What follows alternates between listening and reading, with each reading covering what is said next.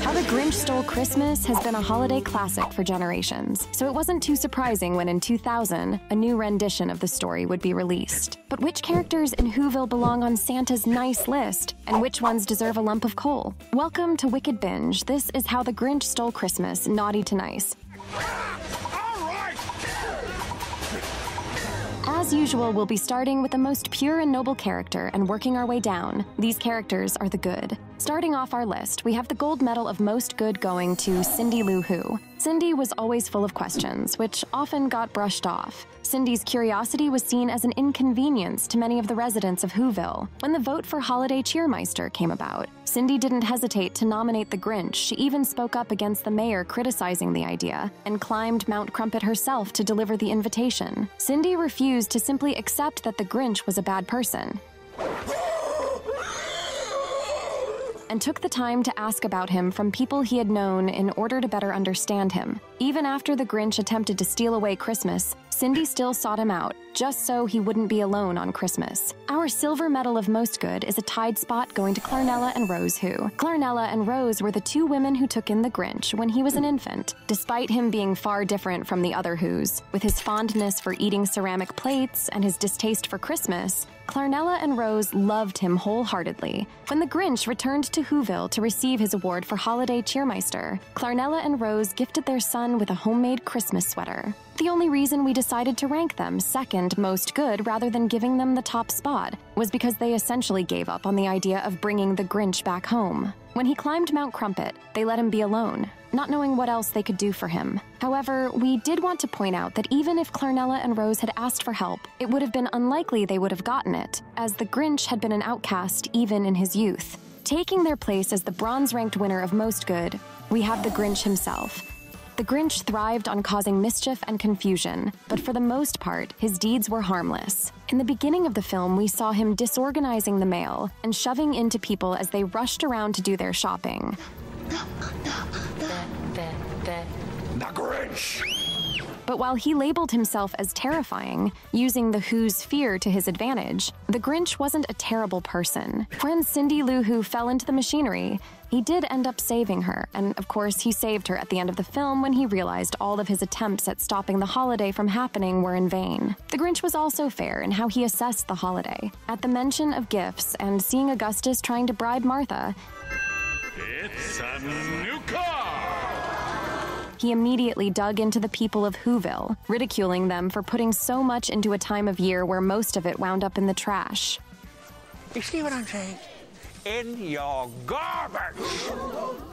This is made even more heartbreaking when you take into account a theory that's been circulating on the internet for a few years now that Max had been one of the gifts that was thrown away. The Grinch wasn't an evil person. In truth, he was a kid trying to find his place and wound up being hurt in the process, which caused him to seek out isolation so as to avoid being hurt again. We can't blame him for reacting the way he did. It was completely unfair of the people of Whoville to treat him as an outcast simply because he looked different and wasn't a complete sucker for Christmas. And we don't blame the Grinch at all for being reluctant to go back to Whoville. We will, however, award him the Wrath Medal, even though we totally understand his anger. After the Grinch, we have his pet dog Max. Max was the loyal sidekick that always tried to get the Grinch to do the right thing. When Cindy fell into the machinery at the post office, Max had been the one to keep the Grinch from leaving, knowing that his owner would regret it if something actually happened to her. Max was also shown to actually be fond of the holiday season, dancing around to Christmas music. Are you having a holly jolly Christmas? In the end, when Cindy was in danger once again, Max also jumped into action to help her. As we mentioned in the previous listing, there is a chance that Max decided to become loyal to the Grinch after his first family had literally thrown him away, and we feel it's worth mentioning this theory as it really does explain the depth of their relationship. Max clearly believed his owner to be a good person at heart, and while Max disagreed with the idea of ruining Christmas, he did still help his owner build the sleigh and sneak around Whoville. Next on our list is Cindy's father, Lou Lou Who. Lou was always shown as a patient man. Whether he was trying his best to answer all of his daughter's questions about the Grinch and Christmas, or when he was doing his best to help his wife gather Christmas lights, Lou was always rolling with the punches. Though Lou was hesitant to encourage Cindy's fixation on why the Grinch hated Christmas, Lou defended her when Augustus tried shaming her before the whole town. He was proud of his daughter for standing up for what she thought was right.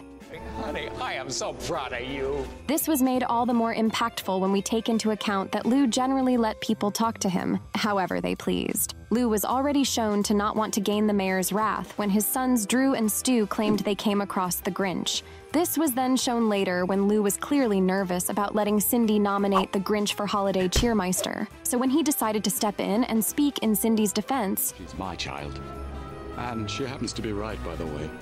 It was a very sweet moment between a father and daughter. Following is the love interest in the film, Martha May Whovier. As a child, we learned that she was in the same class as the Grinch and took quite a liking to him, which will earn her the Lust Medal. She didn't mind that he was different from all the other Who's. However, Martha had also been too afraid to defend the Grinch after his outburst. Though it was clear that she regretted letting him leave, Martha was more concerned with fitting in and moving on with her life. She was easily impressed by the more lavish things in life, and Augustus certainly used that to his advantage when trying to win her over. In the end, Martha was finally able to stand by the Grinch and reject Augustus's proposal. My heart belongs to someone else.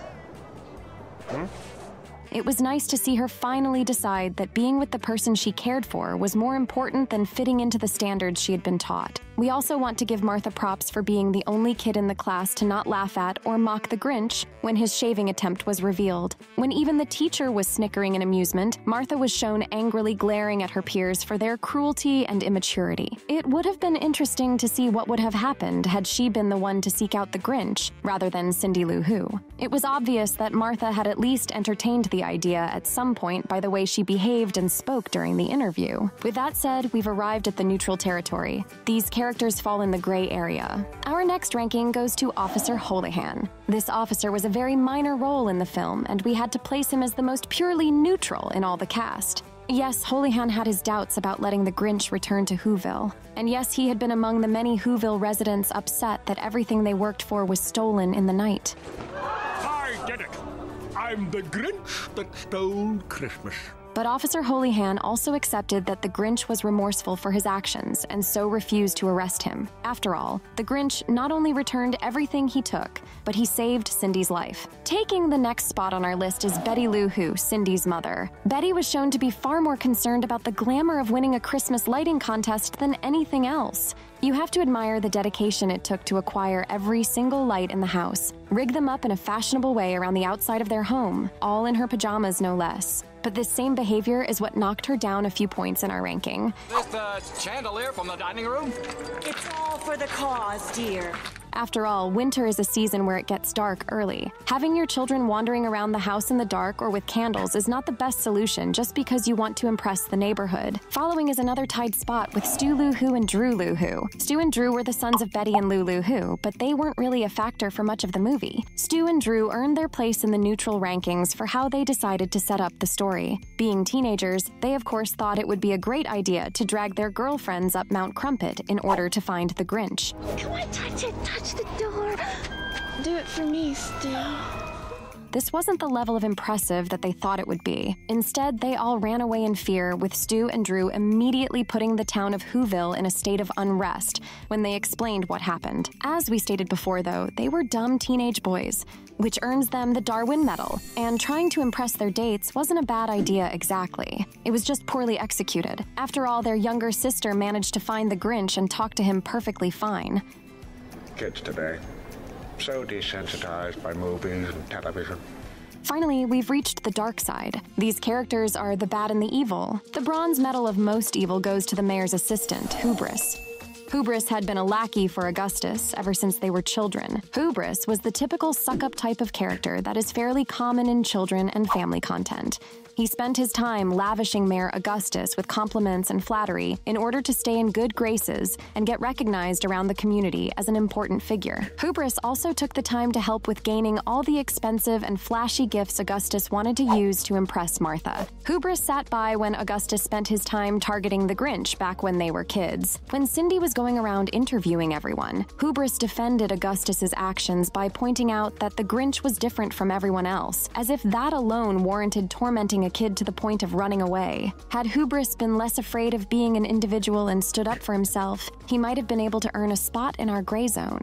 Our silver medal for most evil goes to Miss Rue Who, this ranking may cause some conflict, but hear out our reasoning. Miss Mayru was not only the Grinch's teacher back when he was a child, but she was also Cindy's teacher, which meant a few things. First, that the people of Whoville age incredibly well. Second, that her reluctance to entertain Cindy's doubt and questions likely stemmed from the fact that she didn't want a repeat of what happened with the Grinch. However, it was Miss Rue Who's time with the Grinch as her student that earned her such a low spot on our list. We understand that teachers have a lot on their plates and that it would be impossible to keep track of what every student was doing all the time. However, there was no possible way she didn't notice how the Grinch was being treated in her classroom. From Clarnella and Rose's accounts of what happened, they had no idea what had been occurring in that classroom. And if Miss Rue Who had indeed witnessed some of this bullying and mistreatment, she had an obligation to make Clarnella and Rose aware of it. Later on during the party, when the Grinch had given his gift to Martha, Miss Rue Who prodded at him to show his face despite his clear embarrassment.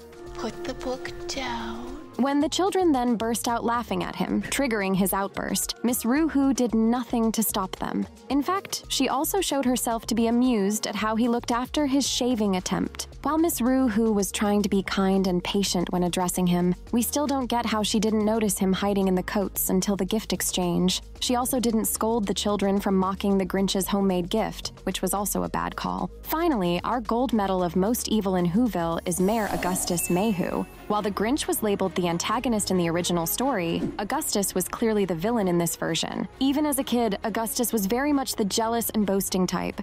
This earns him the Envy Medal. And that's not all. His ego is also more than worthy of the Pride Medal. He hated not getting his way. When the Grinch was starting to warm up to celebrating Christmas and was impressing Martha, Augustus made it his mission to destroy the Grinch's confidence and paint him into the bad guy. Yes, yes, yes. Good times. Huh? Augustus didn't feel an ounce of guilt for making another child decide to live the rest of their lives in isolation among trash. When the Grinch came back to Whoville for the festivities, Augustus decided to rub salt in the wound by choosing that moment to propose to Martha. When everything was shown to be stolen on Christmas morning, Augustus was quick to round on Cindy Lou Who, calling her out before the community. He accused her of bringing all the misfortune to the town, as though Cindy could have had any clue that the Grinch was going to rob everyone. Taking out your frustration on a child is not a classy move in the least especially when you're meant to be a pillar of your town. Truly a scummy guy. It was incredibly satisfying to see Augustus finally called out by the Grinch and given a close shave in the process.